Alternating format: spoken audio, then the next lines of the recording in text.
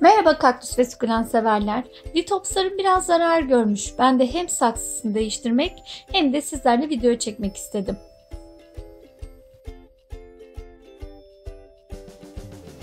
Uzun zamandır bu saksıda olduğu için saksının altı kök salmış.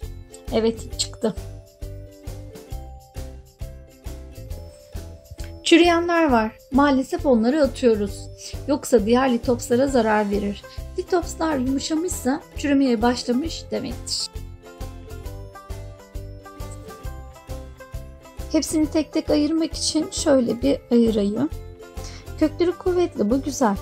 Yanlarında ufak kuruluklar var onları temizliyoruz. Hepsini kontrol edeceğim. Bir problem var mı diye.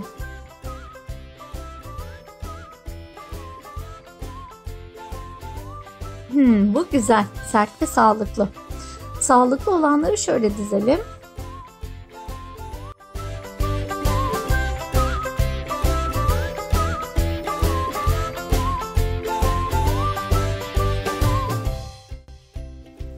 Bakın nasıl da çürümüş.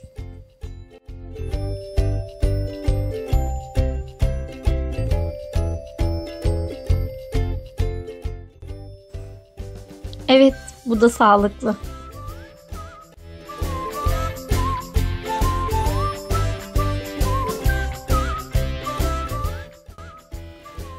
Ama birçoğu problemsiz. Çok iyi.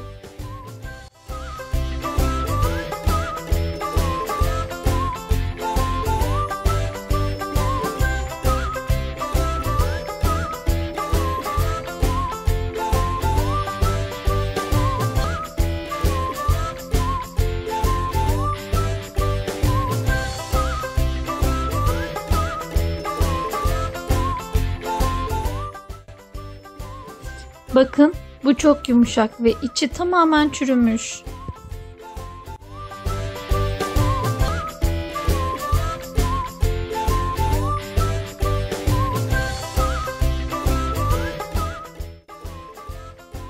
Bu da yumuşamaya başlamış. Sanırım susuz bıraksam kendine gelir.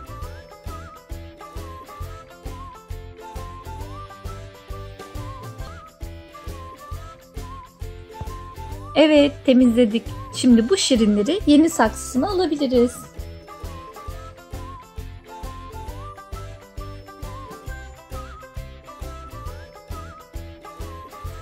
Bu benim yaptığım bir saksı.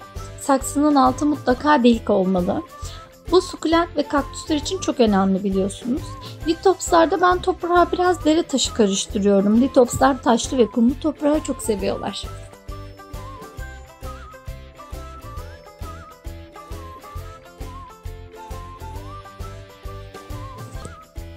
Tüm sukulent ve kaktüslerde olduğu gibi çabuk kuruyabilen ve su drenajı iyi olan bir toprak tercih ediyoruz.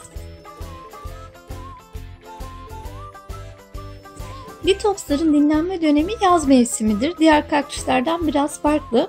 Yaz mevsiminde kuru toprağı sevmezler. Islat kuru tekniğiyle yazın sulamalısınız. Kışın ise toprağa biraz kuru kalmasını sağlayın. Kışın çok fazla sulu toprağı sevmezler. Tam tersine kuru topra toprağı daha çok severler. Litopslarla ilgili ikinci video bu benim.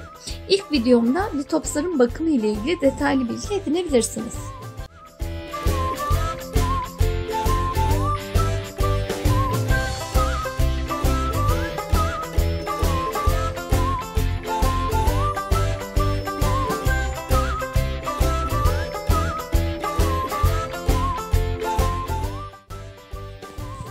Ben biraz da saksı üstüne taş ekliyorum. Litopslar bunu seviyorlar.